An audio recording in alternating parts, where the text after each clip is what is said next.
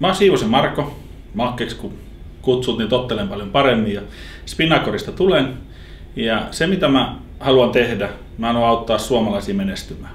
Mä oon tehnyt sitä urallani tosi paljon kansainvälisestikin ja tänä päivänä mä keskityn suomalaisiin yrityksiin ja suomalaisiin urheilijoihinkin ja, ja haluan auttaa heitä menestymään aivoja ymmärtämällä. Se on se mun juttu.